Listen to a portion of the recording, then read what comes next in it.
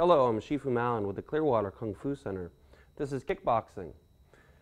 So we're developing our push-up strength. This next exercise is going to be working your push-ups, but also going to be working your leg endurance and your ability to jump. To start this, this is called squat, push-up, jump. Your hands begin over your head. You're going to bend your knees and go into a squatting position.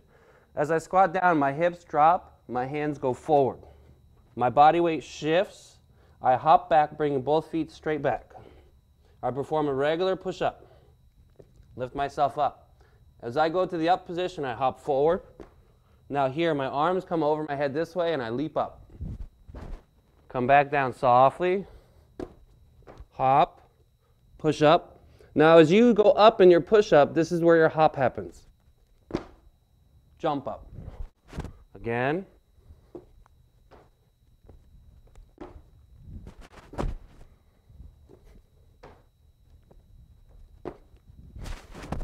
So this is excellent for going ahead and developing your endurance as well as your whole body strength. This is called squat, push-up, jump.